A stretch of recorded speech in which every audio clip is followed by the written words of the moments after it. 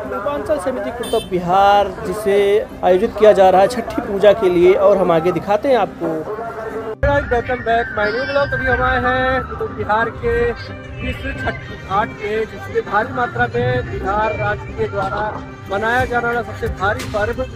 ये छठी पर्व है जिसमें सूर्य देवता की पूजा की जाती है। हम आपको दिखाने वाले यहाँ पे। ये हम दिखा रहे हैं आपको बैक कैमरे से।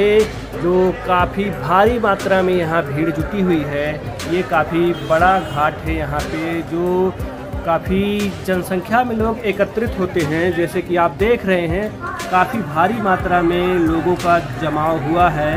ये पूर्वांचल समिति कुतुब बिहार है, जो दिल्ली के नजफगढ़ के करीब पड़ता है। ये द्वारिका सेक्टर उन्नीस में लगता है।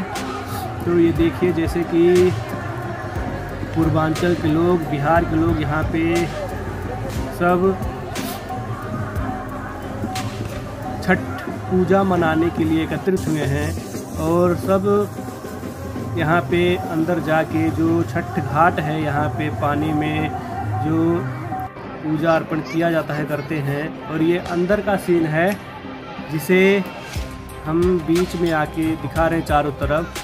चारों तरफ़ भीड़ लगी हुई है और हम इस कुंड के बीच में है जो चारों तरफ़ पानी भरा गया है, क्योंकि इतना पानी भरना तो मुमकिन भी नहीं है बीच में। यहाँ पे और सारे आयोजन किए जाते हैं, रामलीला वगैरह, दीपावली का तो किनारे किनारे पानी भर दिया गया है। इसी में छठी का पर्व मनाया जा रहा है, जो काफ़ी भारी मात्रा में भीड़ लगी हुई है, जैसे कि आप देख रहे हैं। यहाँ पे लोगों द्वारा काफ़ी उत्सुकता से ये पर्व मनाया जाता है, जो बिहार के लोग हैं। कहीं भी आप जाएँगे, अगर छठी का पर्व होगा तो बिहार राज्य के लोग या तो अपने स्टेट चले जाएँगे, या फिर वहाँ पे छठ पूजा मनाने का व्यवस्था किया जाता है।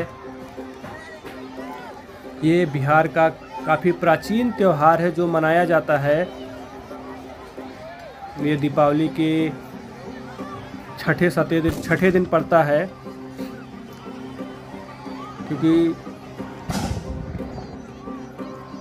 छठ बोला जाता है, जो छठवा दिन होता है हिंदी कैलेंडर का तो ये यहाँ पे छोटे छोटे वो बनाए गए हैं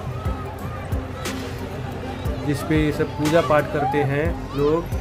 पूरी दंपत्ति के साथ पति पत्नी दोनों पानी में खड़े भी रहते हैं। हम थोड़ा सा लेट आए, क्योंकि हमें बहुत ज़्यादा पता नहीं था तो भीड़ काफ़ी लगी हुई है।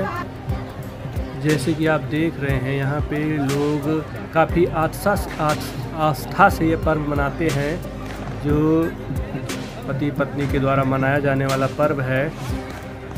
देखिए, ये सब पूजा अर्पण कर रहे हैं और पूजा सब कर करके अपने अपने घर को जा रहे हैं, क्योंकि पांडाल खाली खाली सा दिख रहा है। हम आए हैं लेट।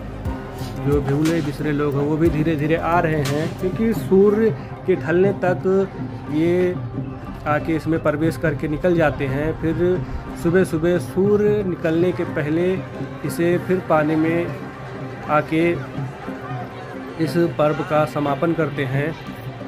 हमें भी खास जानकारी नहीं है इस पर्व के बारे में, फिर भी हम भी पूर्वांचल से हैं तो हमें भी कुछ ज्ञान है, जैसे कि हम दिखा रहे हैं आपको। जैसे देख रहे हैं धीरे धीरे लोग अपने अपने घर को निकल रहे हैं। घाट पे भीड़ नहीं है, हम जैसे जैसे देखते जा रहे हैं। क्योंकि हमारे घर के समीप तीन छठ घाट बना हुआ था। दो छोटे छोटे थे और ये बड़ा था। तो हम पहले अपने घर के पास वाले पे गए थे, जो कोयला बिहार में पड़ता है। दो छठ घाट इधर बने हुए थे और फिर इसके बाद यहाँ पे आए तो यहाँ थोड़ा सा शाम हो गया। लोग अपने अपने घर को चले गए। जैसे कि देख रहे हैं, ये पानी उसी समय के लिए भरा जाता है, जैसे छठ पूजा आता है तो भरा जाता है। फिर उसके बाद बरसात में यहाँ पानी एकत्रित होता है और पानी नहीं डाला जाता है। ये पर्व मनाने के लिए पानी यहाँ पे डाला गया है। सरकार के द्वारा व्यवस्था भी की गई है, जैसे पुलिस प्रशासन को भी गेट पे तैनात किया गया। महिला पुलिस भी लगी हुई है यहाँ पे सुरक्षा के लिए। और यहाँ पे काफ़ी भारी मात्रा में भीड़, जैसे देख रहे हैं, ये मेन गेट है जिससे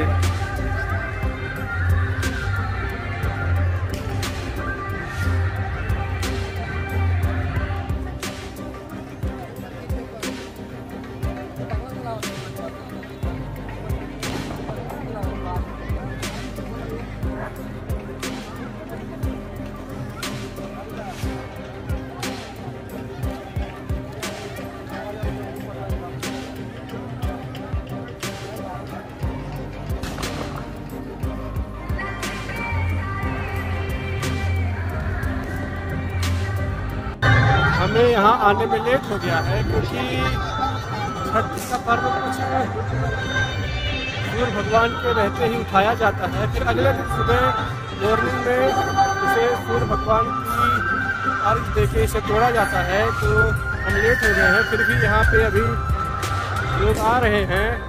ये काफ़ी बड़ा कुंड बनाया गया है जो कि इसमें दीपावली में रावण को भी दहन किया जाता है यहाँ पे। और यहाँ पे छठ का पर्व भी अच्छे से मनाया जाता है।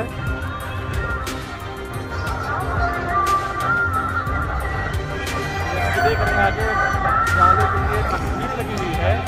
तो हम सब यही आए थे देखने के लिए। ये बिहार का सबसे ज़्यादा मात्रा में मनाया जाने वाला पर्व है। इसे छठ की मैया पूजा कहते हैं। सूर्य देवता को अर्घ दिया जाता है। हमारे तीन किलोमीटर के अंदर चार पाँच ऐसे छठी घाट बनाए गए थे। हम जो वीडियो में कवर करेंगे अभी आज। अभी हम पूर्वांचल छठ समिति, कुतुब बिहार से जा रहे हैं। घर की तरफ़ यहाँ पे काफ़ी भीड़ था, बाइक निकालना मुश्किल था और लोग घर को जा रहे हैं क्योंकि अंधेरा हो चुका है। तो अपन लोग भी यहाँ से चलते हैं।